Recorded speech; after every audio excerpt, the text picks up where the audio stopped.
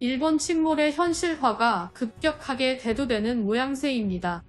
연말부터 시작된 일본 열도의 침몰 분위기는 처음에는 설마 하는 분위기에서 1월 2일 월요일 현재 1월 17일 한시 나와 지대 지진이 다가오면서 1월에 일본 열도가 침몰하는 것이 아니겠느냐는 우려 섞인 목소리들이 일본에서 계속하여 나오고 있습니다. 작년에 일본에서 발생했던 진도 5 이상의 지진 13건 중에서 무려 10건의 지진을 정확하게 맞추었던 도쿄대 무라이 교수가 며칠 전 뉴스 인터뷰에서 일본 도호쿠 지역 특히 후쿠시마 지역에서의 강진과 홋카이도 지역의 지진에 대한 경고를 하였습니다. 이런 가운데 12월 29일 오전 1시 34분 남태평양 바누아투 포트빌라 남동쪽 506km 해역에서 규모 6.0의 강진이 발생했으며 진원의 깊이는 10km입니다. 바누아투 법칙이 있는데 남태평양 바누아투 지역에 지진이 나면 1에서 2주 사이 그와 동일한 규모의 지진이 일본에서 발생한다는 것입니다.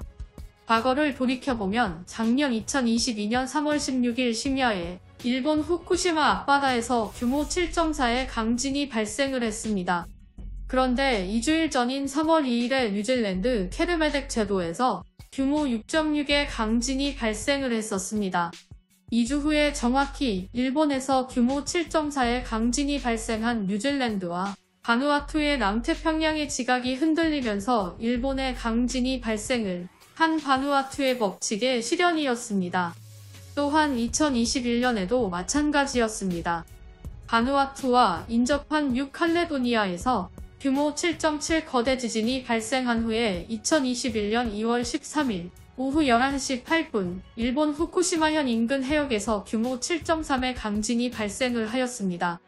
새해 첫날에 일본 규슈 스와노세지마 화산이 폭발하였고 인도네시아와 미국 캘리포니아에서 규모 5클래스의 강진들이 발생 중인 매우 불길한 시그널을 일본에게 보내는 1월 2일 월요일입니다.